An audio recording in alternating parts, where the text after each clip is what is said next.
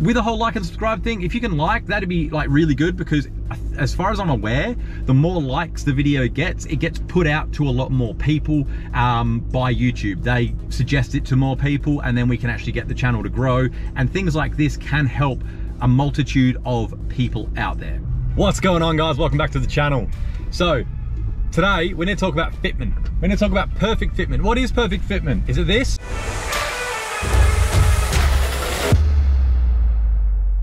Is it this?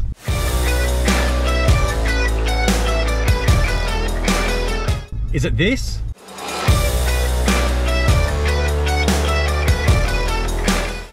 I don't know, is it? You know what it isn't? Nine times out of 10, it isn't what that guy on Facebook told you it is.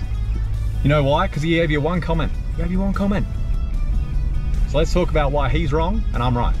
Let's jump in.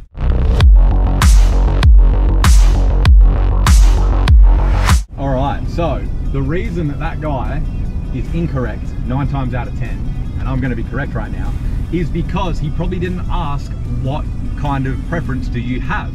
Do you want uh, flush fitment? Do you want meaty tire fitment? Do you want to run a lot of camber? Is that the look you're going for? What is it? Perfect fitment is whatever you want it to be. It's your preference, and to you, that is perfect. To that guy over there, it might not be. So what we need to do is come up with a baseline, which is what I'm doing today. We're gonna come up with the three Fs, fender, filler, fitment.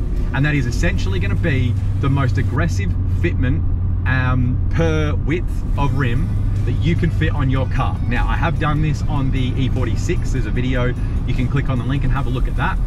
Um, and it's rolled and unrolled guards. So obviously there's gonna be two measurements because if you've got factory guards, you don't wanna roll them. You're gonna have one set, one chart of uh, fender filler fitment figures. That's a lot of Fs. And then if you've got rolled guard, you're gonna have a different set and a different chart. For example, the Supra, uh, in comparison to stock fender lips, mine are nine mil um, smaller because I rolled them quite aggressively, front and back. So the chart for rolled guards is gonna be X and the chart for unrolled guards is gonna be X plus nine to your fitment. So it's pretty simple.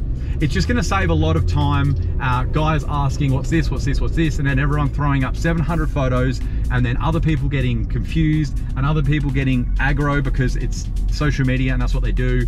Um, it's just gonna give everyone a nice baseline and then if they go, okay, well, I actually need to be five mil away from the lip because I'm gonna run some meaty tires, there you go. Oh, okay, I actually need to be four mil out of the lip because I need to run some camber and I'm gonna bag it out and drop my fender in between the lip and the tire. Things like that. So everyone's gonna have a baseline and every car has a fender, every car has the edge of the rim. So fender filler fitment will give you exactly that. For example, I actually had a subscriber hit me up and he was like, hey man, is this gonna fit? He had a certain um, set of wheels that he just bought. They're actually even more aggressive than mine and he doesn't have rolled guards. So they're not gonna fit. Uh, he's gonna have to run either a lot of camber or roll his guards and still run a decent amount of camber. So if he had these figures, if he had this fender filler fitment chart, then it would have made life a lot easier for him and he wouldn't have gone out and wasted 1600 bucks. And it breaks my heart that he's gone and done that because now he's gonna probably I don't know, maybe lose some money in selling them on and then get a new set. But eh, it's gonna look sick anyway, but it'll just a couple extra steps for him. So this is a video uh, that's going to be like a bit of a precursor to some upcoming content. Uh, I've got a video for the Triple Fs coming for the Supra. Uh, I've already done one for the E46. I am going to be doing one for the Crown. It's just I need to get a stock body crown and also a rolled fender crown so we can have a bit of a play because my rear fenders have actually been cut out completely.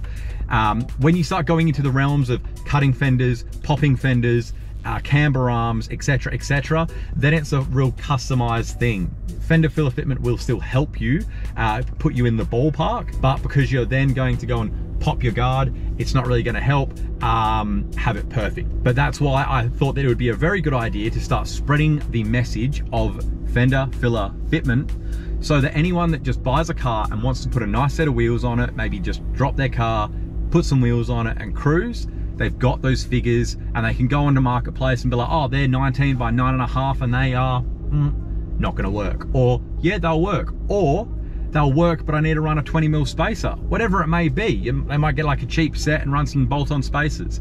Coming from someone who ran bolt-on spacers on my Supra for like 10 years, maybe longer, they're not bad, but it's always that kind of thing in the back of your head, knowing that your wheel fitment isn't perfect. Your wheels aren't perfect for the car. Hence the reason I went and custom built mine, so they are perfect for the car.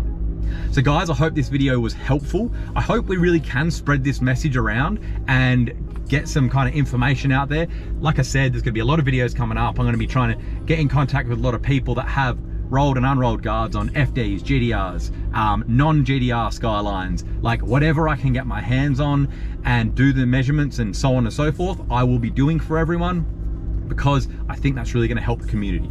So guys, if you liked, please like, please subscribe if you wanna hang around with the whole like and subscribe thing, if you can like, that'd be like really good because as far as I'm aware, the more likes the video gets, it gets put out to a lot more people um, by YouTube. They suggest it to more people and then we can actually get the channel to grow and things like this can help a multitude of people out there.